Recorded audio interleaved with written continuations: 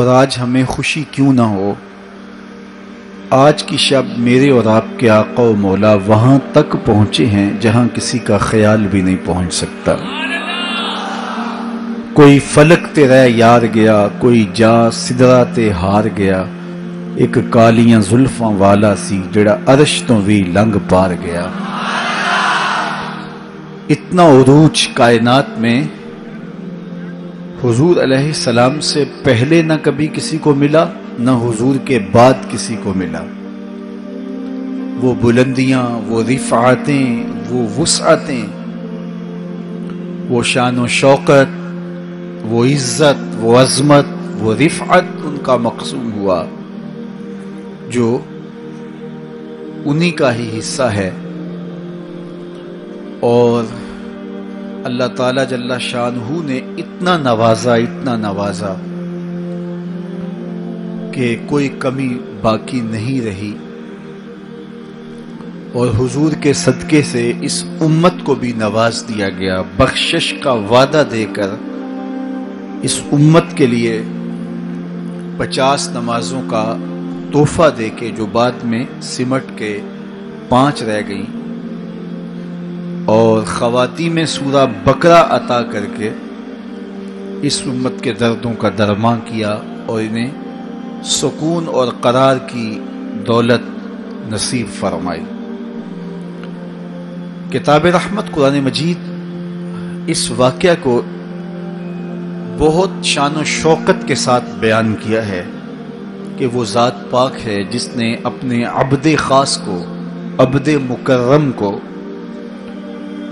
रात के मुख्तसर हिस्से में मस्जिद हराम से मस्जिद ख़ास तक, मस्जिद अक्सा तक सैर कराई ताकि वो अपने अबद ख़ास को, अपने बंदाए ख़ास को अपनी कुदरत की निशानियाँ दिखाए। वो मस्जिद अक्सा जिसके अतराफ में रहमतें बरसती हैं, अनवार उतरते हैं और बरक़ात का नजूल होता है। और फिर मस्जिद अक्सा से लेकर आसमान तक और आसमान से सिदरा तक और सिदरा से जहाँ तक मेरे रब ने चाहा, अपने महबूब को सैर कराई और कुदरत के निशानात दिखाए।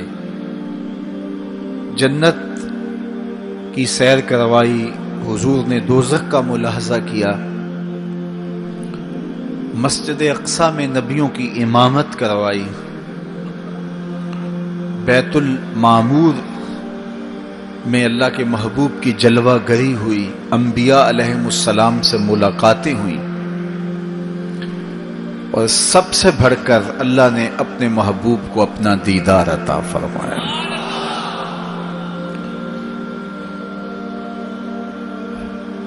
अब इस सुरात के साथ, जिस तेज़ी के साथ हुजूर सलाम तशरीफ़ ले गए, कि रात का मुख्तसर हिस्सा था, कलील वक्त में हुजूर गए भी हैं और आए भी हैं। और ये एक बहुत बड़ा इम्तिहान था लोगों के लिए। खरे और खोटे की पहचान होनी थी। लोगों के ईमान का इम्तिहान था और कुफार ने इस पे बहुत सारी बातें की और उनके मानने में यह भी नहीं आता था कि मस्जिद हराम से मस्जिद अक्सा तक कैसे गए। अबू जहल ने गली गली जाके प्रोपेगंडा किया कि हमारा कौन सा मस्जिद अक्सा में आना जाना नहीं है?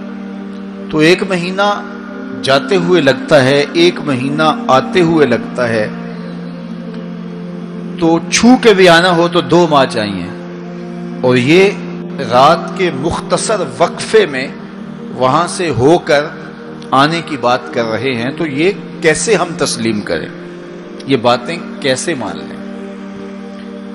तो वो मस्जिद हराम से लेके मस्जिद अक्सा तक हुजूर सलाम के जाने और आने को नहीं मानते थे। और मानने वालों ने कहा, सरे अर्श भी गए हैं और वापस आए हैं, हम इसे भी मानते हैं।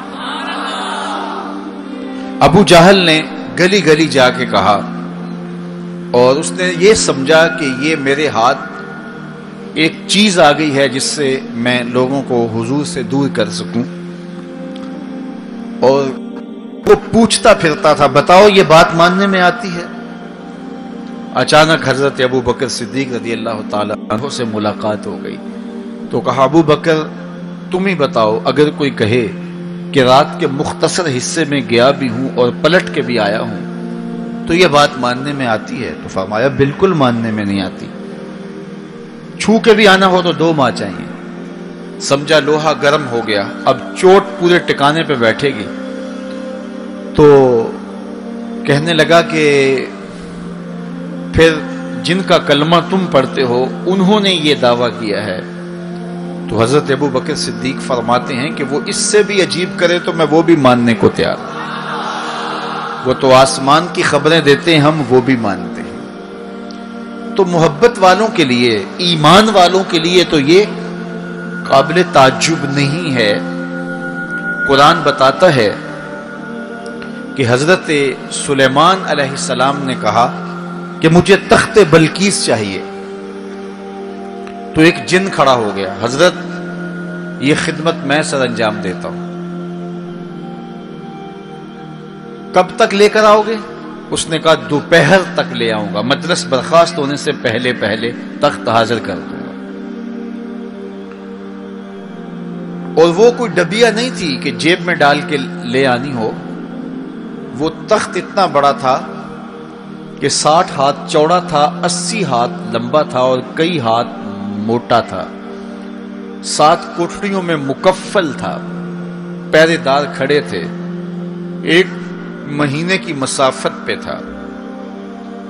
उसको जेब में भी डाल के लाना हो तो फिर भी दो माह चाहिए, लेकिन वो इतना बड़ा तख्त, उसको वहाँ से लाना कोई तमाशा लबे बाम तो नहीं था।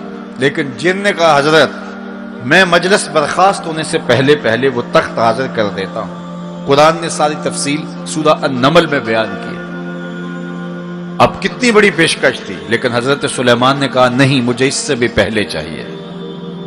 फिर वो उठा जिसके सीने में किताबुल्ला का इल्म था। काल किताब। मुफसरीन ने उनका नाम आसफ बिन बरखिया बताया है। जो हज़रत सुलेमान का सिहाबी था, उसने कहा, हज़रत, मैं ये सादत अपने जुम्मे लेना चाहता हूँ। आपको अगर जल्दी चाहिए तो मैं ले आता हूँ। तो आपने फरमाया, वो तो दोपहर तक का टाइम दे रहा बताओ तुम कब लाओगे? तो वो शख्स जो जबूर का आलिम था और हज़रत सुलेमान अलैहिस्सलाम का सिहाबी था, वो बोला, आना आती का बेही कबला का तरफ़ हुजूर, आप आँख बाद में झपकेंगे तख्त पहले हाजिर होगा। और हज़रत सुलेमान ने अभी आँख झपकी नहीं थी तख्त सामने पड़ा हुआ था। बेसाख्ता पुकारा हाजा मिन फदल दिल में ख्याल भी आते हैं वसवसे भी आते हैं। कि जिस ऐसी ऐसी ख्वाशात जन्म लेती हैं कि इंसान खुद अपने पे हंसता है। लेकिन ऐसी ख्वाशात जिसकी इत्तेबा में चल पड़ा जिसकी ख्वाहिश में चल पड़ा सुलेमान के तो ये हलाक की ये शान है आरज़ू का पैदा हो जाना मुसाफत के आरज़ू तो आरज़ू रही वसवसे के पैदा हो जाने पर भी पकड़ नहीं है अगर उसकी इत्तेबा मुक्तदी हमें ऐसे वसवसे आते हैं उस इमाम की अगर बयान कर दें तो कत्ल कर दिए जाए। इतना गलीज ख्यालबाज का इंसान के दिल की तख्ती पे आता है दिमाग की स्क्रीन पे उभरता है। तो मेराज। फरमाया कि तुम क्या करते हो? तुमने कहा कि हम उसको झटकने की कोशिश करते हैं। जब इस तरह का कोई ख्याल आता है तो बंदा उसको झटकता है दूर करता है और बंदा खौफ ज़्यादा होता है और अल्लाह की पनाह में आता है और उसकी एक हालत होती है। तो उस हालत का उन्होंने ज़िक्र किया कि हम तो फिर ये करते हैं। तो फरमाया कि जाल कसरी हुल ईमान। ये तुम्हारे वाजे ईमान की उन्होंने ये कहा कि जिस्म उस वसवसे के बाद जो तुम्हारी तबीयत में बेचैनी और बेजारी पैदा हुई और उसको धकेलने के लिए उसको ख्याल से हटाने के लिए उसको तस्वरत से दूर करने के लिए जो तुमने कोशिश की ये तुम्हारा ईमान था जो खड़ा हुआ।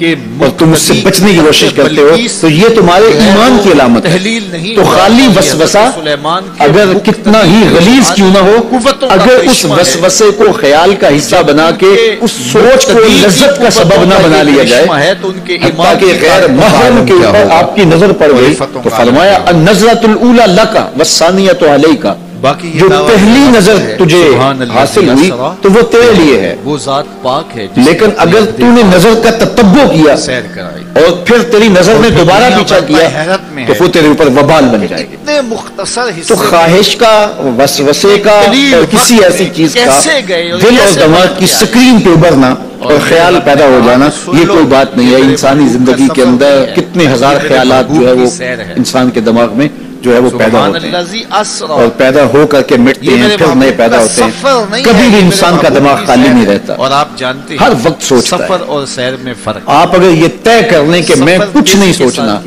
तो ये सोच रहे होंगे कि मैं कुछ नहीं सोच अब कभी हो जो फासला तय करके आया हूँ तो अगर मैं सैर की गरज से यहाँ आता तो मुझे दो घंटे लगते। और अगर मैं गाड़ी पे भी आता तो फिर भी मुझे कम से कम पौना घंटा चाहिए था, लेकिन मैं पंद्रह बीस मिनट में यहाँ पहुँचने की कोशिश की है, क्योंकि मेरी निगाह में एक था कि मैंने दिए गए वक्त के मुताबिक यहाँ पहुँचना है। वो तो बाहर बेतहाशा रश ना होता तो मैं वक्त से पाँच मिनट पहले ही पहुँच पाता। तो मैं दाएँ बाएँ से बेनियाज होके अपनी मंजिल पे निगाहें गाड़े हुए सरपट दौड़ रहा था और यहाँ तक आ पहुँचा। लेकिन सैर जो होती है, उसमें हर मंजर पे रुका जाता है, ठहरा जाता है। कोई नज़ारा हो तो उससे लुत्फानंदोज हुआ जाता है। अब इतनी सुरात के साथ गए और वापस पलट के आए, मेरा रब कहता है, ये मेरे महबूब का सफ़र नहीं था। ये मेरे महबूब की सैर थी। क्या समझोगे मेरे महबूब को? जिसकी सैर तुम्हारी समझ में नहीं आती, अगर वो सफ़र करे तो फिर कैसे समझोगे? ये तो अभी सैर है और तुम वर्ता हैरत में हो। कैसे गए? कैसे आए? अकल वाले कहते हैं कि ज़मीन, सतह ज़मीन से लेकर चौतालीस मील तक हवा है, उसके बाद कुर्राए खला है, फिर कुर्राए जमहरीर है, फिर कुर्राए नार है। फिर आसमान में खिर को इल्तियाम मुमकिन नहीं। जिस्म का सरूद मुमकिन नहीं है। आसमान में दरवाजे नहीं हैं। आसमान टूट नहीं सकता, फट नहीं सकता तो कैसे कोई आसमान से गुजर सकता है? तो कैसे चले गए? हम कहते हैं कि हज़रत आदम माँ हज़रत हवा के कैसे आए? ये रकावटें उनके रास्ते में भी तो थी। हज़रत ईसा सलाम के बारे में हमारा अकीदा है कि वो फांसी नहीं दिए गए, सूली नहीं चढ़ाए गए, बल्कि अल्लाह ने उनको आसमान पे उठा लिया। तो ये रकावटें तो उनके रास्ते में भी आई होंगी तो वो कैसे चले गए? जब हज़रत ईसा जा सकते हैं, हज़रत आदम आ सकते हैं तो मेरा नबी जा भी सकता है, मेरा नबी आ भी सकता है। फ़र्क यह है, अभी तक जो गया है, पलट के आया नहीं। जो आया है, अभी तक पलट के गया नहीं। मेरे नबी गए भी हैं, मेरे नबी आए भी। सी राज, मेराज मुहब्बत का नहीं सी किसे दी समझ विच आने वाला। सदया तालिब ते गया मतलूब होते जिब्राइल सी सद ले जान वाला। बाजे आखते बिन दरवाजिया तो किवें पहुंचिया, अरश ते जान वाला। अबर अकल नु इथे दखल किए, जाने जान वाला या ले जान वाला। ये मेरे रब का दावा है, अपने महबूब को सैर मैंने करवाई। तो कायनात में जिन रिफातों तक, जिन बुलंदियों तक मेरे हुजूर पहुँचे अच्छा सैर करवाई क्यों? तो कहा कि मैं अपने अजायब कुदरत की निशानियाँ, अपने अब्दे खास को, अब्दे मुनीब को अब्द मुख्तार को अब्द मुकर्रम को दिखाना चाहता हूँ। और फिर? अल्लाह जल्ला शाहू ने अपने महबूब को इतनी निशानियाँ दिखाई जिनका ताल्लुक देखने से भी था जिनका ताल्लुक विजदान से भी था मासूसात से भी था सुनने से भी था। कभी हजूर सलाम जन्नत की खुशबू सूंघते हैं नजारों की वादी देखते हैं और जन्नत के महल्लात को हुजूर मुलाहजा फरमाते हैं और कभी दोजख के अंदर अजाबों में मुबतला लोगों को हुजूर सलाम देखते हैं और फिर अपनी उम्मत को बयान भी फरमाया ताकि वो उन आमाल बद से बच जाएँ जो जहन्नम में ले जाने का सबब और ज़रिया है। आज की शब खास में मैं और आप अपनी जिंदगियों पे गौर करें और हुजूर इस्लाम ने वो जो हमें खबरें दी हैं, उनको देखें और कोई ऐसी कोताही कहीं हमारे आमाल में तो नहीं है, अगर है तो उसको अपने से दूर करके एक नई ज़िंदगी का आज से आगाज़ करें। हजूर अलैहिस्सलाम ने फरमाया कि मैंने कुछ लोगों को देखा कि पत्थरों से उनके सर कुचले जा रहे हैं। और पत्थरों से कुचलने की वजह से उन लोगों के सर कीमे की तरह हो जाते। कूट दिए जाते हैं पत्थरों से, लेकिन थोड़ी देर के बाद फिर सही हो जाते हैं, लेकिन फिर दोबारा उनके सर कुचले जाते। तो मैंने पूछा, जिबरील, ये कौन लोग हैं? तो कहा कि, ये वो लोग हैं कि जिनके सर नमाज़ की वजह से बोझल रहते थे। नमाज़ जिनको बड़ी भारी लगती थी। कई लोगों को नमाज़ का कहें तो वो सौ बहाने करते हैं। और एक बहाना तो हर बेनमाजी करता है, मेरे कपड़े पाक नहीं है। मेरे वालद गिरामी फरमाया करते थे, तेरे कपड़े कैसे पाक हो सकते हैं, जब तू अल्लाह के हुजूर झुकना नहीं जानता। जब उसके हुजूर झुकना सीख जाएगा, तेरा लिबास भी पाक हो जाएगा, तेरा बदन भी पाक हो जाएगा, तेरा तन भी पाक हो जाएगा, तेरा मन भी पाक हो तो सौ बहाने तो इनके सर नमाज़ की वजह से बोझल हो जाते, अजान की आवाज़ सुनते और फिर दोबारा सराहने पे सर डाल देते और उठने की हिम्मत ना पड़ती। हैया आलसला हैया फला की दिल फरेब सदाएँ कानों में पड़ती। तो इनके सर नमाज़ की वजह से बोझल होते थे और आज इनके सर पत्थरों से कूटे जा रहे हैं। इस पूरे इज्तिमा में जो इस ग्राउंड के किनारों तक है और बाहर गली में भी, इस लाउड स्पीकर के ज़रिए से बाज़ार में भी, सड़क पर भी आवाज़ें पहुँच रही होंगी। तो आप सब और मैं गौर करें कि हमारी ज़िंदगी में कहीं नमाज़ से कोताही तो नहीं है। और ये भी सुन लीजिए कि ये मेराज का तोहफा ख़ास है जो हुजूर लेकर आए मेराज की शब जब हुजूर वहाँ पहुँचे, जब किसी का तस्वर भी नहीं पहुँच सकता तो अल्लाह ने अपने महबूब इस्लाम को जो अता किया, उसमें खवाती में सूरा बकरा थी। सूरा बकरा की आखिरी आयात अता की गई। उम्मत के साथ बख्शिश का वादा किया गया, अगर वो शिरक नहीं करती। और जो सबसे अहम शय, वो ये कि पचास नमाजों का तोहफा दिया गया। आका करीम इस्लाम पचास नमाजों का हदिया और तोहफा लेकर के वापस पलटे, छठे आसमान पे हज़रत मूसा से मुलाकात हुई। और उन्होंने कहा कि मैं बनी इसराइल का तजुर्बा रखता हूँ और उम्मतों का गहरा तजुर्बा रखने की वजह से मैं आपसे अर्ज़ करता हूँ कि आप अल्लाह की बारगाह में जाइए और नमाजों में तखफीफ की दरख्वास्त पेश कीजिए। ये पचास नमाजें नहीं पढ़ पाएँगे। तो हज़रत मूसा के कहने पे हुजूर दोबारा बारगाह इज्दी में हाजिर हुए और अर्ज़ की तो पाँच नमाजों की रुख्सत हो गई। पैंतालीस रह गई तो वापस पलटे तो हज़रत मूसा ने फिर कहा कि ये पैंतालीस भी नहीं पढ़ सकेंगे। आप अल्लाह की बारगाह में दोबारा तखफीफ की दरखास्त पेश कीजिए तो हुजूर दोबारा जाते। फिर आए, फिर उन्होंने कहा, नौ मरतबा वापस भेजा और पचास से पाँच नमाजें रह गई। जब पाँच नमाजें लेके हुजूर वापस आ रहे थे तो हज़रत मूसा फिर मिले और उन्होंने एक बार फिर कहा, एक बार और जाइए। अब आदत बारी क्या है? हर बार दरखास्त करने से पाँच नमाजों की रुख्सत मिलती है। अब रही पाँच गई हैं। तो आदत बारी के मुताबिक अब ये पाँच भी माफ़ हो जाएँगी। तो हुजूर ने फरमाया, मुझे रब से शर्म आती, रब से हया आती। उम्मत से तवक्को की कि ये उम्मत इतनी नकम्मी तो नहीं है कि पाँच नमाजें भी ना पढ़े। तो मेरे और आपसे ये हमारे आको मौला की तो थी कि हम पाँच नमाजें अदा करें और ये पाँच नमाजें हमें सवाब पचास का यता करेंगे। ला तब्दील अल कल मातिल्ला अल्लाह की बातें तब्दील नहीं होती।